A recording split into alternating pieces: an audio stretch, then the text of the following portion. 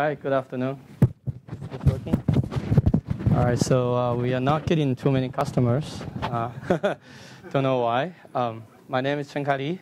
I'm an associate professor in the computer science and engineering department of UT Arlington. Uh, there, I'm also directing the uh, database and information systems research laboratory. Um, well, at UT Arlington, uh, my research uh, on several areas related to big data and data science. So that include databases, uh, data mining, information retrieval, and web data management. Okay. Um, the theme of our research is on building human assisting and human assisted large-scale data and information systems uh, with high usability, okay, high efficiency, and applications for social good. And today, so these are several projects that we are currently working on. Today I'm going to talk, mainly talk about one of these projects, uh, computational journalism, okay, and data science applications in computational journalism. I have three things to confess, okay? Number one, the title of the talk mentions crowdsourcing. So if you come here for things related to crowdsourcing, I'm not really going to talk about it. So that's due to some miscommunication. Um, number two, I'm not really an expert of Python. I used Python 10 years ago when I was a student, okay, uh, for my PhD dissertation work. And for part of the project, okay, and my main focus is on uh, tweaking the core uh, database engine of MySQL and PostgreSQL, okay. And there I used C++ and Java and so on. And in the next 10 years, I mainly focus on doing research, writing grants, writing papers, and so on. Didn't really do that much programming, especially not much in Python. But then, um, started from several months ago, I would say maybe half a year ago, okay, I, I picked up Python again for several reasons. One is uh, I happen to be the chair of our publicity committee uh, of our department. And you know, part of that responsibility is I need to manage our or oversee our uh, department website. And another aspect of it is that I get to uh, use social media and claim that part of my uh, work. Okay, so that's about publicity. And I need to, I needed to put up a, a list of areas in our department that are ranked high uh, nationally and internationally. So I got information from Microsoft Research, uh, Microsoft Research um, uh, uh search API, and I used Python to uh, download their web pages and extract ranking list of uh, about 10, 20 major research areas in computer science and how these different computer science departments in this country are ranked, and then figure out how UT Arlington is ranked, right? So there I used Python and used something called uh, Beautiful Soup, and which is fairly uh, effective for information extraction. Okay, that's number one. Number two, uh, for some of my research projects, I needed to use Python to explore uh, you know, various ideas. And number three, in this semester, when I teach data mining, um, I, I used um, NLTK and used um, um, matplotlib. And uh, I asked my students to implement uh, decision trees and implement clustering algorithms uh, to uh, classification and to natural language processing using various uh, Python tools. And because of that, I needed to design um, design uh, programming assignments using Python. So I, I, I got more uh, familiar with Python these days. And so that's the second thing I want to confess. Number three, um, some of the slides that show code snippets, uh, code snippets are not produced by myself. They're actually produced by my uh, students.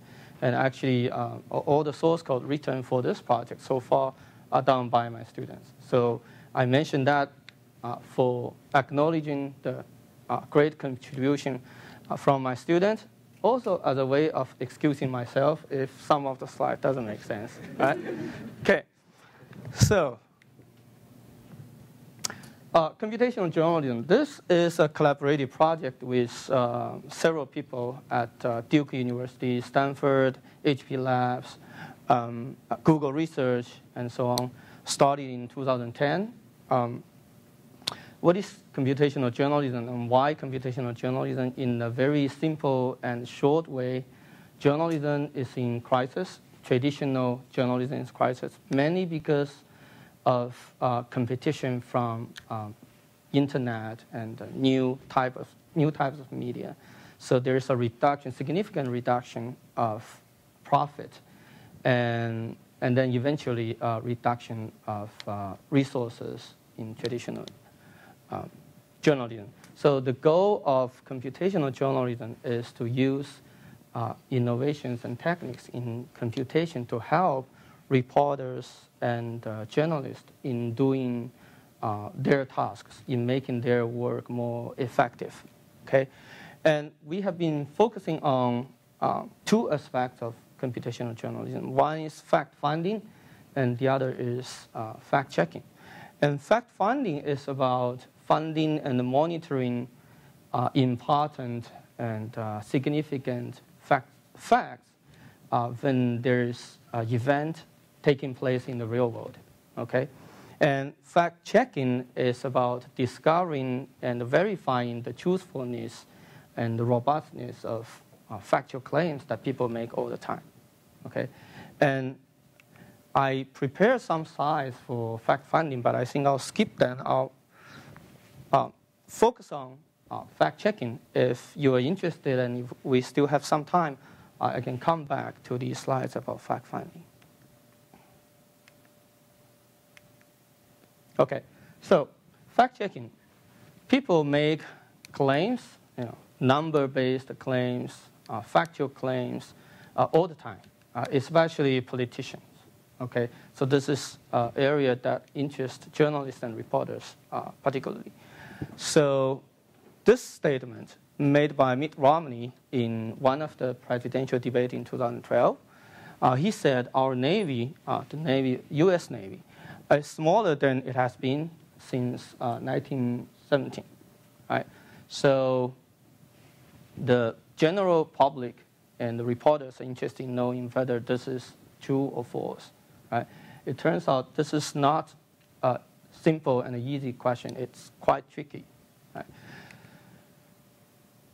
This figure or chart is from one of the uh, reports related to this claim. Right?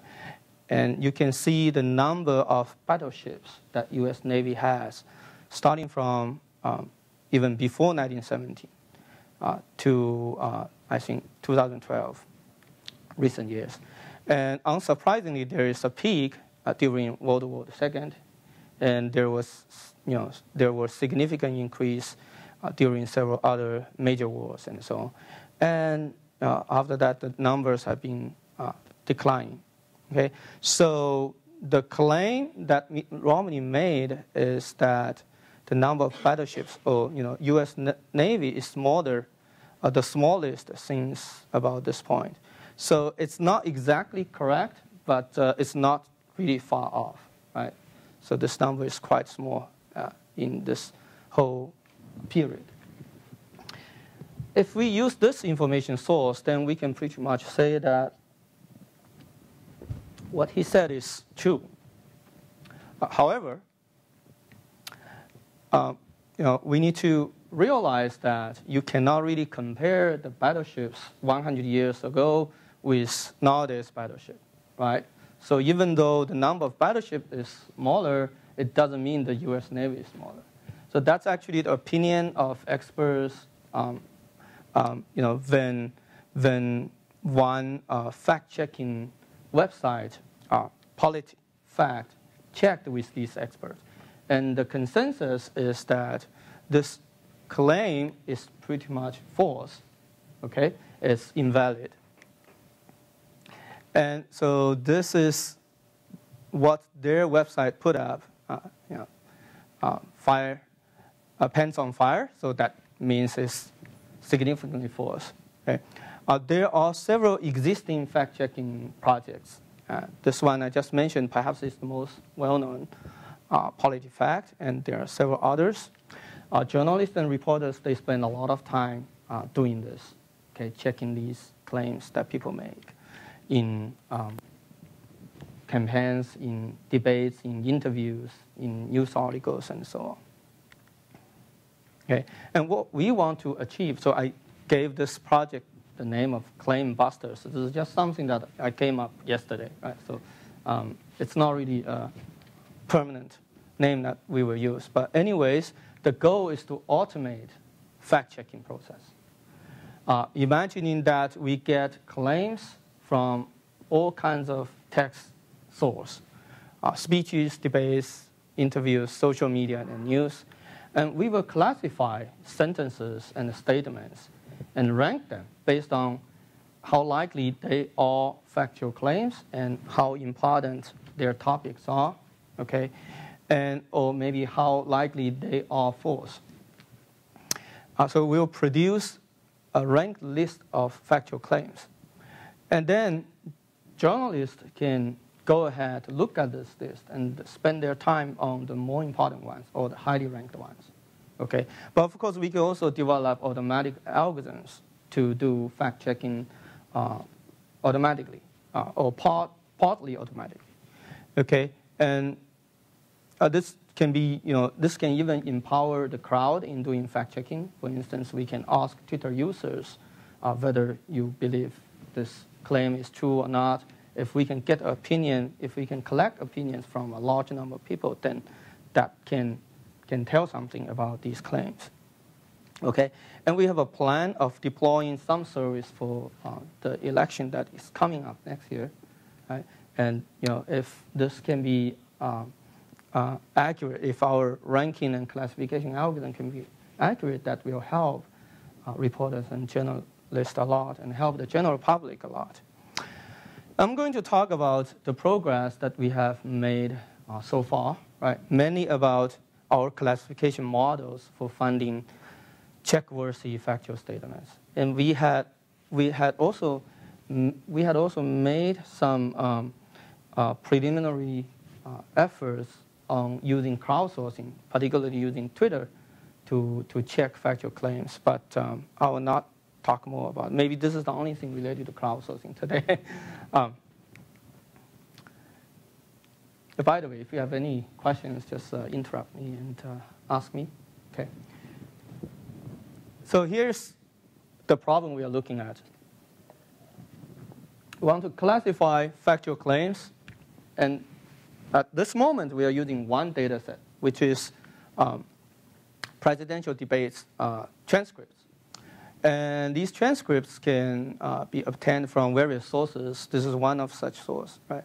So there were um, uh, 13 de uh, 30 debates for election, uh, 11 elections in history. So, um, so the earliest debates were in 1960, and then it stopped for a while, and then uh, starting from 1970, we have been uh, uh, constantly having presidential debates for every election. Okay, so there are totally 30 debates, and every debate, of course, uh, involves two speakers, two candidates. Um, there are about 20,000 sentences made by these candidates in all the presidential debates. And we have removed the very short ones, those having less than five words were not considered part of the data set. So uh, overall, there are, I think, about 40k thousand sentences, you know, very short ones, and the sentences made by moderators of debates. Okay, so this is our data set. And we want to classify each sentence into one of the three classes. Okay, and are you all familiar with machine learning and the notion of classification? Can, can you raise your hands? Okay, so that's good. So that makes my uh, job much easier. So these are the three classes. There's no factual claim in this sentence. Okay? I'm not showing the sentence here. I'll show uh, one specific sentence later. Right? But this is a question we will ask. Uh, will the general public be interested in knowing whether part of this sentence is true or false? Right? So that is the um, prediction we want to make. That is the class label we want to give to each sentence. And there are three possible labels. Uh, no factual claim, uh, a sentence containing unimportant factual claim, and a sentence containing uh, important factual claim. So these are examples of sentences for these three different classes, right? So these are important ones, these are unimportant ones. Uh, you know, we spend less on military trade than any time in our history. This is pretty much similar to what Mitt Romney made. And, you know, I was in Iowa yesterday. That's a factual claim, but perhaps not so interesting or important for the public to check. And these are opinions and questions and declarations. They are not truly um, factual claims, right? So I will be tough on crime, right? So that's not really factual. Um, our plan is to reduce tax rate by 10%. So that's a plan that we will execute, but it's not fact. Um, this is how we collect our ground truth data. So we have set up a website, okay, and this is one sentence among the 20K sentences. So we will show uh, these sentences to our participants and ask our participants to label all these sentences. They also get a chance to see the context of this, like the five sentences before this. Right? And they also have the option of skipping uh, if they are not confident uh, in giving a label to the sentence. And they can also have a, a chance to modify uh, their labeling Okay. Um, our goal is to get each sentence uh, labeled by two participants. Okay. And we are still doing that. We have accomplished about 80% of our uh, job. Okay. Um, the ground truth will include the, you know, a sentence only if that sentence is labeled consistently uh, by the two participants. Okay, so if both say that this is important, then we say yes, uh, I consider that to be the ground truth label for that sentence. If they disagree, then we, we will not use that uh, in training our model and in testing our model. Right? Uh, so, well, this is how we use Python in this project. Okay, we use NLTK, which is a Python-based natural language toolkit for um, getting structured data out of the debate transcript files, for uh, tokenizing the sentences, and for um, getting part of speech tags out of the sentence. Okay, and we store um, extractive features of sentences into MySQL database using something else in other package in Python. We use matplotlib to to plot our classified performance, which we will show uh, we use Alchemy API um, to extract features for each sentence. Okay, so these are the features, these are the input to our uh, classification models. The features include keywords, of course, part of speech tags, sentiments of sentences, entities in sentences, okay, and you know, the concepts that these uh, entities about, and furthermore, taxonomy of um, topic uh, of the sentences. And we use scikit-learn to build our classification models. So I'll give you some more details about how we do each of these. So this is code snippet of using NLTK to do part of speech tagging and to do tokenization, of course, before even doing that. Right? So this is one very simple sentence. Okay, um, we can use NLTK to do tokenization and then uh, uh, tagging. And this is a result. Uh, the tags we are getting for that sentence. If you were here in the last session, then you have seen something similar. Okay. Um, so, for instance, tax is a noun and policy is a noun. Okay, and is is a verb and bad is adjectives, and so on. Right? So these become the features of this sentence. So in this particular case, we have one. To, we have how many terms? Yeah, we have nine uh, features related to POS tagging that will become input to our uh, classification model. This is how we do uh, sentiment analysis using uh, Alchemy API. Right? So it's really simple. Uh, the sentence as the input uh, text is just to say that this is in textual format uh, instead of HTML and so on. Right? So other options can be HTML, um, um, um, maybe JSON. I'm not exactly sure. Okay, and this is how we get uh, the sentiment, and we can show uh, we can print out the sen uh, sentiment for this sentence. It's negative for sure, right? So uh, it's fairly negative. So this is a, a high negative value. And this is how we extract named entities from sentences using Alchemy API. Okay. Uh, so for that sentence, okay, what you are seeing is uh, the tax policy. This phrase is a named entity, right? It's a named entity of this type, uh, field terminology. Basically, it's a terminology in a particular field. Okay, and it has a relevance score to the sentence is 0.33 relevant to the whole sentence, and we are also getting the uh, uh, sentiment out of it. Uh, so basically, for each entity in a sentence, we can get uh, the sentiment score of it, whether it's positive or negative, right? So this is different from the whole, whole sentence's sentiment. But in this case, in this particular example, since it's short, uh, they become the same. Okay? And this is how we get the concepts. Right? So named entity is for finding whether a sentence has entities that are people, organization, or, or, or places, and so on. But it doesn't say which particular person it is. Right? And concept is to say that that particular term refers to this real world entity that we know about. Right? Let's say there is a particular uh, Wikipedia entry for LeBron James, then the concept will say uh, this term, LeBron, refers to that Wikipedia entry. Right? So that's different from uh, named entity uh, recognition. So this is the output of that sample sentence. Uh, once again, uh, this, this was the sentence we looked at. The tax policy for the middle class is bad, right?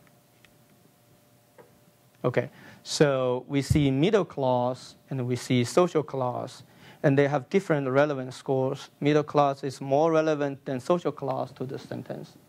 And middle class has a particular meaning. It refers to uh, this real world entity in DBpedia, in Freebase, and in OpenCyc. I don't know if I've heard of any of these.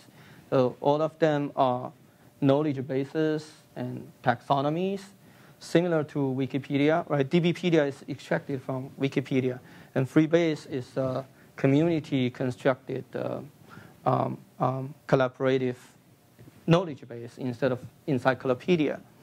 And OpenCyc is some similar, you know, some project similar to Freebase, but was done much earlier than Freebase. So anyways, this way we, we build connection uh, between middle class as a phrase uh, with particular concepts in these knowledge bases.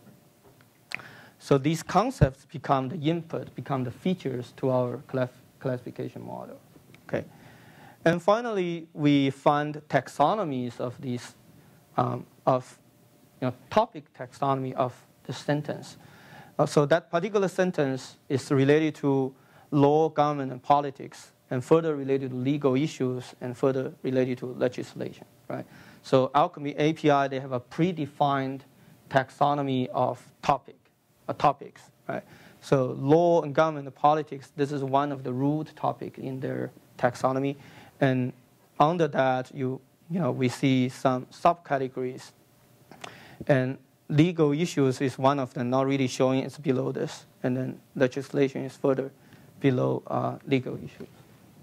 Right? So these three things become features of that sentence will become input to our classification models.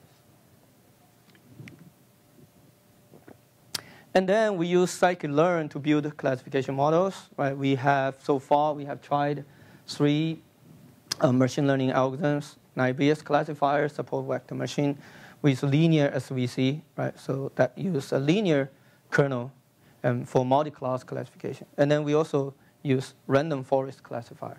And particularly, we use 200 trees in random forest. And this is our setup. Uh, so we have three classes: a sentence being belonging, a sentence belonging to one of these three classes, right? NFS, non-factual claim, no, that means not important, and yes means important factual claim. And we use five categories of features, okay? So these are the ones I mentioned. Keywords, of course, entity types, okay, uh, POS tags, concepts, and taxonomy. Uh, and then we tried five combinations of features. So basically, we consider keywords to be basic, and then we start to add uh, into the stack of features that we want to use. So we add uh, POS tags upon keywords, and then further include entity types, and further include uh, concepts and taxonomy. So there are five combinations. And we always use sentiment and the, the length of the sentences. So they're not mentioned as uh, these five categories of features, but they're always used in our classification model. Uh, we have uh, 1,500 sentences uh, in our ground truth so far. So remember, these are the sentences that have been labeled by two participants, and they agree on the on their labels. Okay, uh, so our uh, we have tried uh, fourfold cross validation, right? And the ratio between training and test data is three versus one, right? So since you are familiar with machine learning, I'm not going to explain what this means. Okay. And this is, you know, a snippet again uh, of how we do these. Right. So we have data and multiple columns. You know, each column corresponds corresponds to a feature. So each row in data is one sentence essentially. We do not want to include the last column because that's the ground truth, that's the label of each sentence. Right? The rest of the columns are the features we want to use. Right? And this is how we uh, uh, this is our ratio between uh, training and test data. You know, 75% of the sentences will become training, and the 20, the remaining 25% belong to test data. Right. So we use random numbers to decide each which sentence should be put in training data, which should be uh, which sentence should be included in test data. Right. So this is how we partition the data. And then uh, these two, uh, train verdict and uh, test verdict, these two uh, lists, they are, they are the labels, the ground truth labels of sentences. And if we use scikit-learn, it's truly simple to, to get a classifier, right? Random forest classifier, that's the function we use for, for doing random forest. And this is number of trees that we want to use in random forest. And this is uh, Naive classifier and this SVM classifier. Um, now, if you just use that to replace this, you get a different model. Use that to replace that, you get a different model. And you just say that we want to use train as the training data and this as the uh, ground truth label. And a model will be created. And then you predict, uh, uh, using that model to predict for every sentence in test data, you get the prediction. Uh, that is how you do uh, uh, handout by partitioning uh, data into train and test data subsets. And this is how we do cross validation. Right? So um, there, there is a particular function called a cross val score in scikit-learn for, for you to do that. And so these are some results. Uh, as I said, this is fairly uh, preliminary. Our goal is to get all 20,000 sentences labeled, and hopefully that will allow us to get better classifiers. And we also explore more uh, uh, different types of classification models and further tune these classification models. But anyways, these are the uh, results we have so far. And this is on precision, right? So I guess everybody understands concept of precision. If we label a sentence as uh, important, uh, the percentage of uh, sentences labeled as, labeled as important that are truly important, right? So that is precision. And these are the results for three different classifiers, SVM, RFC, and Naive classifier. And you have, you know, for each classifier, you see three group, uh, five groups of bars for five different combinations of features. And then, you know, we have the precision on three different categories of sentences, right?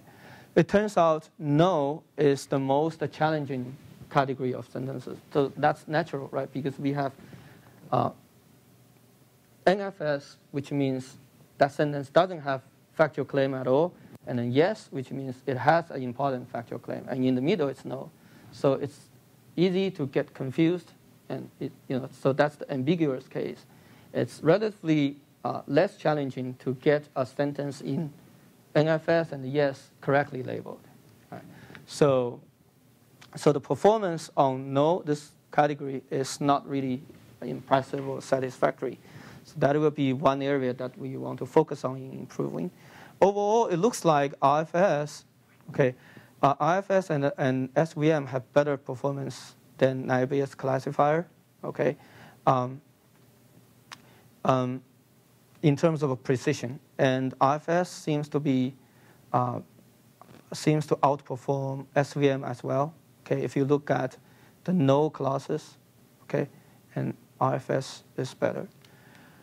And this is recall, so that's a different measure, right? So out of all those sentences that are truly yes, how many are labeled by our algorithm or models as yes, okay? And you know, that will be the red bar, and we do that for the three uh, classes uh, corresponding to the red, green, and the blue bar. And here we see some interesting uh, results. NBC turns out to be uh, effective in terms of recall. So it's find, it finds a lot of um, it find, finds a lot of less important factual claims. Okay, uh, you know, in terms of that, it's better than SVM and. Uh, but of course, it suffers on the other two categories, NFS and yes.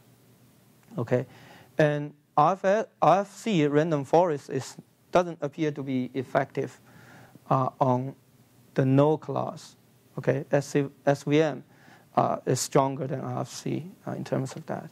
And overall, we combine precision recall, uh, we, we get F measure. So this is a measure for combining precision recall. It is essentially the harmonic mean of precision recall, right? And we, we see still RFC is the best for yes and NFS in terms of uh, F measure, okay?